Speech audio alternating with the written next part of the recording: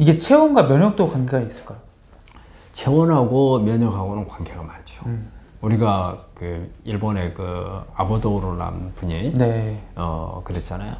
어 우리 그분이 체온 면역학이 대가거든요. 네. 그래서 그분이 체온이 1도 올라가면 면역이 100% 올라간다고 그랬어요. 대신 1도가 떨어지면 30%의 면역이 저하가 된다고 그랬거든요. 그래서 우리 되게 암 환자분들 보면 다 저체온이에요. 36도 5부 이하죠. 그래서 우리가 일반적으로 어, 체온을 가지고 우리가 이제 그 면역을 가름해 볼 수가 있어요. 평소 때 이렇게 저체온인 사람들은 면역이 일반적으로 어, 다 떨어져 있다고 봐야 돼요. 그건 특히 왜 그러냐면 저체온이라는 것 자체가 에너지를 많이 못 만든다는 뜻이거든요. 우리 네. 몸에서. 네. 그러면 우리 정상 세포 그러니까는 면역 세포도 우리 정상 세포 중에 하나잖아요. 네. 암하고 싸우는 세포예요. 근데 기운이 있어야 하잖아요. 근데 면역 세포 안에도 마찬가지로 미토콘드리아가 있어가지고 에너지를 만들어야 한단 말이에요. 네. 에너지를 만드는데 못, 만, 못 만드는 상태가 되면 어, 공격력이 떨어져 체온이 어, 떨어져 있게 되면 그리고 또 체온이 왜 높아야 되느냐면요. 네. 우리가 이렇게 우리 몸에서 체온이 올라간다는 것은 어떤 의미냐면 이게 진화적으로 볼 때 뭔가가 외부에서 공격이 들어왔을 때 네. 공격이 들어오면 이 싸우는 가운데 열이 난다고 생각을 하는 거예요. 인식이 그렇게 돼 있어요. 그래서 열이 올라간다, 체온이 올라간다. 그 우리 몸에서는 아 적이 들어왔다. 그래서 빨리 방어를 해야지. 해가지고 면역 시스템을 작동을 시켜요. 그래서 체온이 올라가면. 근데 체온이 떨어지면 누가 나를 공격 안 하는 걸로 알아. 네. 그 면역 세포들이 놀아버리는 거예요. 그래서 체온을 올리는 게 중요해요. 그래서 가장 좋은 것은 자기 스스로 몸 안에서 열이 만들어지고 체온이 올라가는 게 좋겠죠. 그런데 우리 몸에서는 정상 체온이 어때요? 36.5도에서 네. 37도 2부까지 이렇게 유지가 되거든요. 네. 정상 이상 그 이상 올라가기 어렵단 말이에요. 그런데 체온이 올라가면 올라갈수록 우리 몸- 몸에서는 적이 들어왔다는 것에서 막 강력한 면역 시스템을 작동을 하거든요. 그래서 강제로라도 올려주는 게 좋아요. 근데 스스로 못 올리면 어때? 올리는 방법을 사용해야죠. 우리가 어, 온돌도 그 올려주는 방법 중에 하나죠. 그 다음에 뭐 찜질방, 사우나 예, 이런 부분들인데 근데 이제 이런 부분들이 좀 미약한 게 뭐냐면 신부열을 못 올린다는 거예요. 어. 표피열은 잘 올라요. 또 두선이 있으면 올라가요. 네, 네. 얼굴도 볼고족족 하냐 고 하는데 실제적으로 신부열. 암이 있는 주변에 열이 올라가야 되잖아요. 근데 이제 이걸 올려주는 방법들이 그렇게 만만치가 않아요. 그래서 그런 부분들을 해줄 수 있는 게 우리가 지금 그걸 어, 하기 위해서 하는 방법들이 여러 가지 고주파 치료라든지 또 이제 뭐 근적외선을 이용한 전신 치료를 한다든지 그래서 이게 고주파나 근적외선은 아주 비밀 깊게 들어가요. 음. 깊게 들어가서 암이 있는 신부까지 네. 가서 때려서 열을 높이는 그런 효과를 하거든요. 오. 그래서 그런 부분들을 좀 이용하는 방법들이 이제 뭐랄까 조금이 적극적으로 하는 방법들이 되겠죠. 그래서 체온하고 면역하고는 아주 밀접한 관계가 있다고 볼 수 있어요. 그럼 그 밖에 이제 좀 우리 몸의 면역을 떨어뜨릴 수 있는 요소들이 어떤 게 있을까요? 어, 면역을 떨어뜨리는 어, 부분들은 일단은 제일 안 좋은 부분은 우리가 그 영양하고 관련이 되겠죠. 특히 또 이제 그 영양자 부족한 경우에도 그러겠지만 또 면역을 떨치는 음식을 주로 많이 먹는 경우 어, 이런 부분들이 이- 되겠고 네. 그 다음에 이제 운동 부족. 저는 이제 운동 부족이 면역하고는 아주 관련이 많아요. 네. 운동 부족이라든지 또 하나는 스트레스. 음.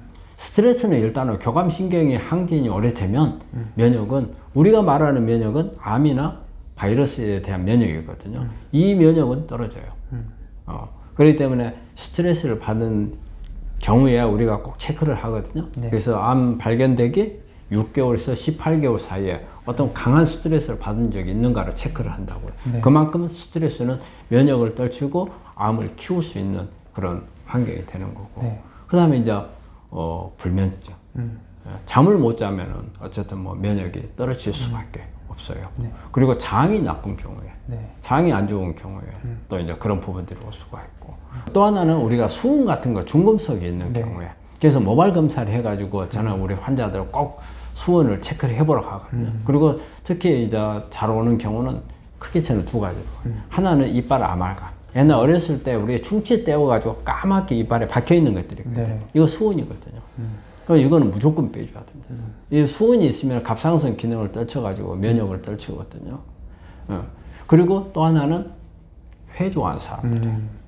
특히 이제 오래 수명이 이렇게 바다에서 오래 산 생선들을 좋아합니다. 특히 연어 참치, 뭐 그다음에 뭐큰뭐 갈치, 네. 그다음에 이제 저이 바다 밑에서 오래 산뭐 문어 어, 이런 부분들을 많이 어, 섭취를 하게 되면 수온이 많이 그 오염이 되어 있는 경우가 많아서 자 그런 분들 중금속 중금속들이 있는 경우에 그리고 이제 그 외에 뭐 알루미늄이나 바륨이나 니켈 같은 거 이런 중금속이 어, 축적이 되어 있는 것은 발암물질로 작용을 하니까 이제 그런 부분들이 있고 또 하나는 우울증이나 불안증이나 그 심리적으로 취약한 이런 이런 경우가 어, 되게 이제 그런 면역을 떨치는 이제 그런 상황이라고 볼 수 있죠.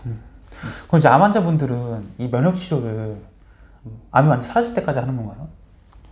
그래서 우리 이제 그 질문을 참 많이 해요 우리 환자들이 면역을 치료해야 됩니다. 네. 뭐 이- 우성 유전자적인 치료를 해야 됩니다. 네. 그러면 언제까지 해야 됩니까? 그렇죠. 그럼 저는 이제 첫 마디는 그래요. 네. 언제까지가 없습니다. 음. 자, 언제까지는 없어요. 왜냐하면 암은 우리가 5년 생존율을 보잖아요. 5년 동안 이제 통계자료 때문에 그래. 그래서 5년을 보지만 암이 5년 동안에 다 없어지느냐? 그 말을 못해요. 없어졌다고. 완치했다고 볼 수가 없어요. 음. 그럼 10년을 본단 말이에요. 네. 그럼 10년이면은 다 없어졌느냐? 그럼 거의 없어졌다고 보지만 10년도 100%는 아니더라는 네. 거죠. 그러면 자 언제까지 해야 되겠느냐? 답은 없어요. 한데 우리가 이제 굳이 이렇게 이제 한번 이제 분류를 해본다 하면은 우리가 크게 보자면 5년까지가 가장 네. 그 하겠죠. 5년까지. 근데 5년이면 너무 길다 이거죠. 네. 그러면은 내가 집중해야 될 때는 그럼 언제까지겠습니까? 이런 말을 하잖아요. 그럼 저는 3년이라고 그래요. 왜냐하면 3년 이내에 재발 전이 된 사람들이 가장 많아요. 아. 음, 많기 때문에 그때까지는 관여해야 한다. 네. 그 3년도 길어요. 네.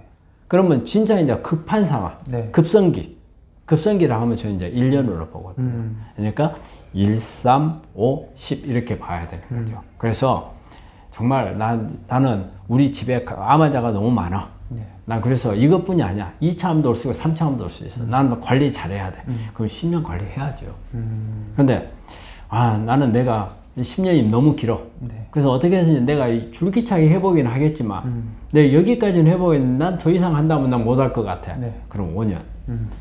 그 사람이 어떻게 생각하느냐에 따라서 달라지는 것 같은데 저는 일단 우리 환자 모든 환자분들한테 권유를 한다면 3년은 적극적으로 관리를 하시라. 3년은. 그래서 3년은 적극적인 관리를 하시고 1년 이내는 적극적인 치료를 하시라 이렇게 말씀드리고 싶어요. 그래서 1년은 적극적인 치료, 그다음에 관리는 적극적인 관리는 3년. 그렇지만 거기서 그냥 손을 넣으면 안 되고 내 음식이라든지 생활 습관이라든지 이런 게 암을 억제할 수 있는 그런 환경을 만들어 가는 것은 최소한 5년까지는 해야 된다. 그래, 그래서 말이 그잖아요. 암은 평생 관리라고 하거든요. 평생 관리입니다. 이제 그 암의 그 평생 관리를 하셨지만 보통 이제 사람들이 생각하는 그 완치의 그 기준이 음. 일반적으로 5년을 보잖아요. 그게 그게 잘못돼요. 네. 완치가 5년이라고 하는 것은 네. 5년이라고 하는 게 네. 완치 개념은 아니에요.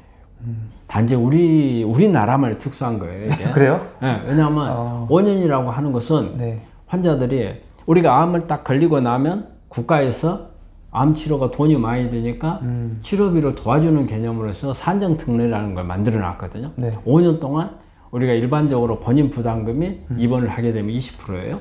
그 이거를 5%로 낮춰준 거예요. 5%만 내라. 네. 이렇게 해준 거거든요. 네. 그 특례를 5년간 준 거예요. 네. 그런데 대부분 환자들이 자, 그 특례가 끝나면 완치했다고 생각을 해요. 음.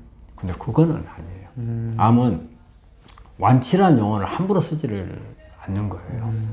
그 완치가 했다면 그 암이 없어져야 하잖아요. 네. 그런데 5년 이후에 특히 유방암 같은 경우 음. 5년 이후에 재발 잘 되거든요. 음. 그럼 이 사람이 5년에서 완치했다고 볼 수 있어요? 아니죠. 아니죠. 10년 지났어요. 네. 근데 10년 이후에도 재발하는 사람들이 있거든요. 네. 그럼 10년 완치했다고 볼 수 있냐? 그거 아닌 거예요. 그래서 암이란 병에는 완치란 용어를 함부로 쓰면은 안 돼요. 그럼 이제 그래도 되면 아 10년이 지나도 완치가 안 돼? 어 그럼 이건 뭐야? 네. 나는 지금 평생 동안 그러면 암하고 싸워야 돼? 네. 그렇게 생각할 수 있잖아요. 네. 그런데 그렇게 생각을 하고 평소 때 관리를 하시면 되는 거예요. 평소 때. 그래서 요즘에는 암은 하나의 암만 오는 게 아니고 네. 2차 암, 3차 암도 와요. 3차 암도. 왜? 문화가 암이 잘 걸리는 이런 환경을 바꿔버렸어요. 우리 매연도 많지요. 음식도 막 예, 가공하는 음식이 많고 네, 그 네. 전부 공장을 통해서 들어온 것들이 많잖아요. 네. 그 공장을 통해서 들어오다 보면은 영양 상태도 문제가 될 뿐더러 여러 가지 첨가물 인해서 여러 가지 유해한 부분들이 많단 말이에요. 어, 그런 환경에서 계속 지금 우리가 노출이 네. 그렇게 되고 있는데 네. 예? 그런 그런 부분들을 빠져나갈 수 있는 방법이 잘 없어요. 그렇기 때문에 이 부분들을 자기가 자기 관리를 열심히 그렇게 예? 해 나가야 되기 때문에 너무 그렇게 어, 예? 완치란 용어를 네. 쓸게 아니고 완치를 위해서 자기가 기본적인 노력을 해야 되는 거예요. 그러니까 대신에 급한 거 1년, 3년, 5년 이렇게 분류를 해가지고 조금씩 이- 이제 이제 조금 안심할 단계는 가잖아요. 네. 예, 그렇지만은 기초는 끝까지 가야 돼. 그럼 이제 10년 이상 그 암 이제 검진을 받았을 때 암 환자가 이제 암이 발견되지 않았어요. 음. 그럼 그 사람은 암이 한 번도 걸리지 않은 사람보다 암이 재발할 가능성이나 암이 생길 가능성이 훨씬 높은 거죠. 높죠. 훨씬 더. 왜냐하면 에, 우리가 되게 그 암이 네. 1차 암을 걸리고 나면 예전에는 네. 2차 암이라는 이야기를 참 별로 없었어요. 네. 근데 요즘에는 2차 암, 3차 암, 음. 또 한꺼번에 두 개의 암, 세 개의 암이 네. 발생한 어, 이런 부분들이 있거든요. 그런데 일단은 1차 암에 걸린 사람들은 그만큼 안 걸린 사람들에 비해서 면역은 취약하다는 뜻이잖아요. 네. 근데 그걸 잘못하면은 그 면역 상태에서는 어디든지 또 암이 또 생길 수 있잖아요. 그 면역이 취약하니까. 그렇기 때문에 일단 1차 암에 걸린 사람들이 2차 암, 3차 암은 더 걸릴 가능성이 높죠. 끝으로 이제 구독자분들이 하고 싶은 말. 네. 예, 이 시간에는 면역에 대해서 알아봤거든요. 근데 우리 환자분들이 면역에 대해서 어, 사실 의사들도 면역은 어려워요. 어렵다 보니까 면역이란 말은 그 암하고 해서 면역이란 말은 뗄 수가 없는 말이에요. 다 면역이라고 말을 하지만 면역에 대해서 이렇게 정확하게 알고 계신 분들이 잘 없거든요. 그래서 이 시간에는 우리 환자들이 좀 쉽게 면역에 대해서 이해를 하고 또 면역에 대해서 좀 이해를 해야 내가 아, 어떻게 관리를 해야 되겠구나. 어, 이제 이런 부분들이 나오기 때문에 그래서 어, 좀 우리 그 시청자분들이 어, 좀 쉽게 이해할 수 있도록 한번 이걸 구성을 해 가지고서 제가 한번 어, 설명을 해 드렸습니다.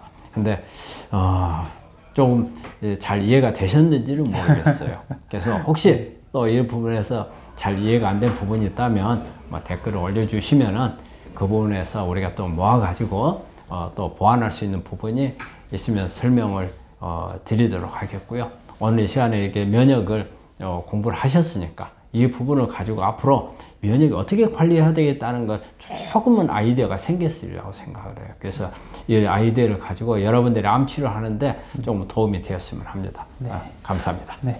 그래서 오늘은 이제 암 너는 누구냐의 저자 문창신 원장님 모시고 이야기 나눠봤습니다. 오늘 좋은 말씀을 감사하고요. 영상 봐주신 구독자분들도 고맙습니다. 감사합니다. 감사합니다.